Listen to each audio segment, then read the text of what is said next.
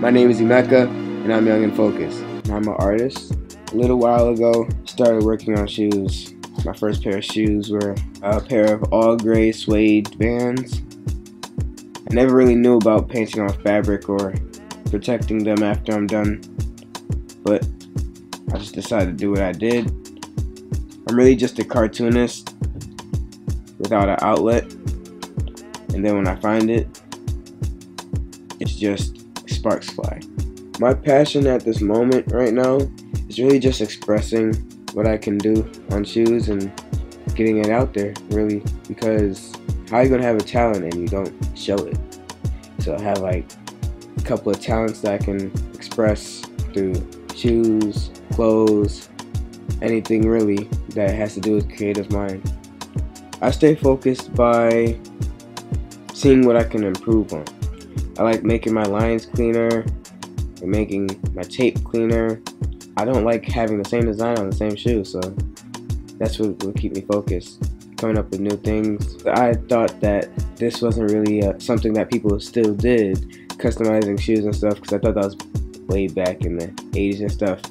But the more research I did, the more and more that I found. People have been doing this for years.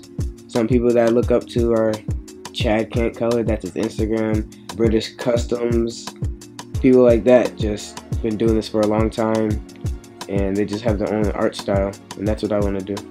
I get a lot of support from my family, my friends. My family sometimes gets their shoes customized by me. I've been getting newer and newer and more reliable products to put on my shoes so they're more protected. So Angelus has like this thing called uh, 2-Soft it makes the paint softer and makes it more comfortable to wear. My dad really was like a model of great art for me. He has taught me a lot of things that I can't teach anyone else. I don't know where he gets it from, but he he obviously got it from someone very great. Of my greatest strength, perseverance. I never stop stopping. When I think of stopping, I don't think of it in a negative way. I think of it as time for you to refresh. My parents always tell me to meditate, and that's what I call stopping.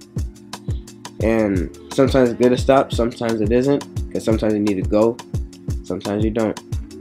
My biggest barrier is just not having enough shoes to express what I need to. It's like a canvas. It's just free space. I like to just draw all over it, but sometimes you can't really do that because free space is also good. It makes some things pop, it makes some things go away. Some people at school tell me that I buy things just to ruin them, and I think I buy things to renew them. And I don't really see any of the hate. I know that what I'm doing, they can't do in a million years because my art that I have is unmatchable.